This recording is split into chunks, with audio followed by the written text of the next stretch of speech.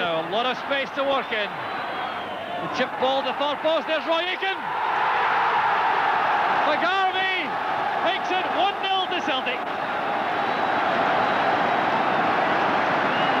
So it's Frank McGarvey's 21st goal.